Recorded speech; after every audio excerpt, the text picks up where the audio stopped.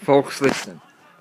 I know I'm not gonna do the uh, do the uh, um, re revelation until 11, but wait until you hear what I have planned instead. My pad's almost charged. Get ready. It's coming up soon.